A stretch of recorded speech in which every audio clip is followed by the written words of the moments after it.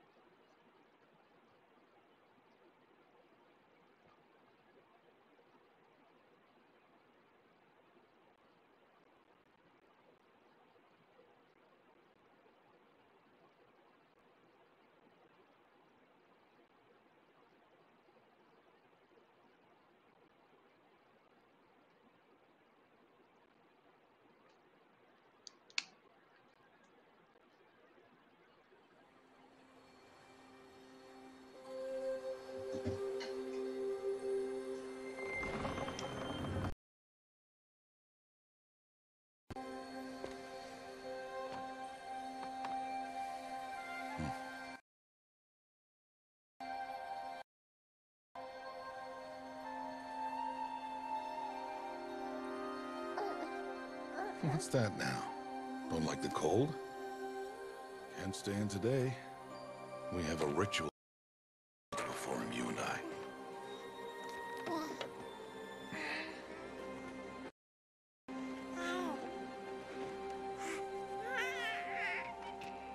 Here. Wear this. It belonged to my daughter.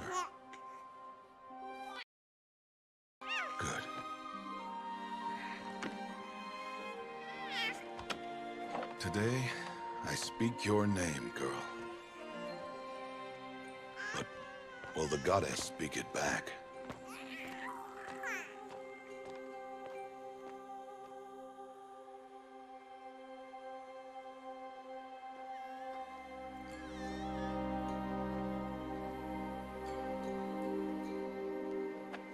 Normally, it would be the mother who declares, if you had one. Whole village would attend, and matriarchs perform the ritual. But we are outcasts. Even so, we keep the tribe's rituals.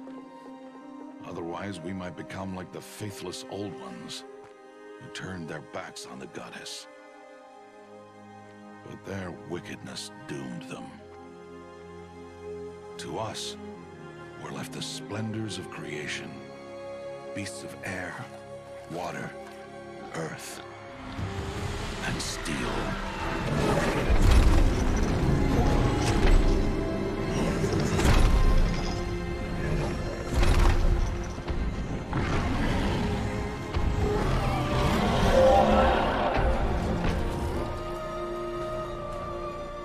It is one thing to hunt a beast, another to hunt a machine.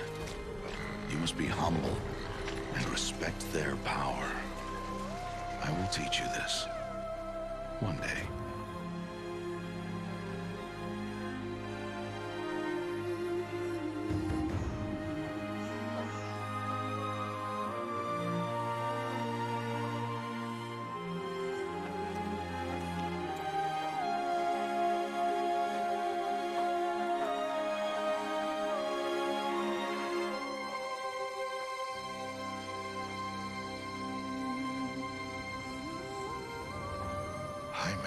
Teersa. What is she doing here? Does she mean to forbid the ritual?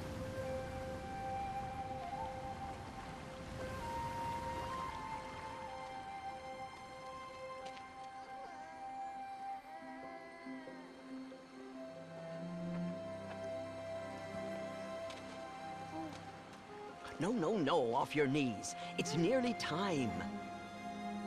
And yes, you may speak to me. You came to bless the naming, Have not six months gone by since we entrusted her to you? but we are outcasts. You by choice, and she, well... I am a High Matriarch, Rost. I bless whom I choose. Then you honor us. Yes, yes, now go, and be ready to declare. Go!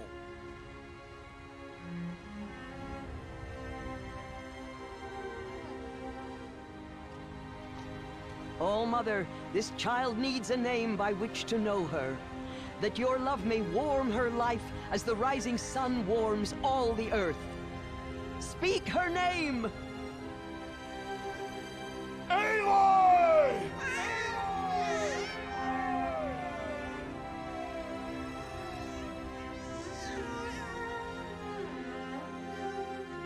And so her name is blessed. Stop this at once! What have you done? I've blessed the naming of a child. Stubborn woman, you call that curse a child? What did she tell you about his birth outcast? Answer! I've done only what you asked. To raise it, yes. We said nothing of love. Enough. And you, blessing its name like it was one I of the know my duty to the them. tribe. And to you, Without consultation. I'm here. And wherever you go, I will follow.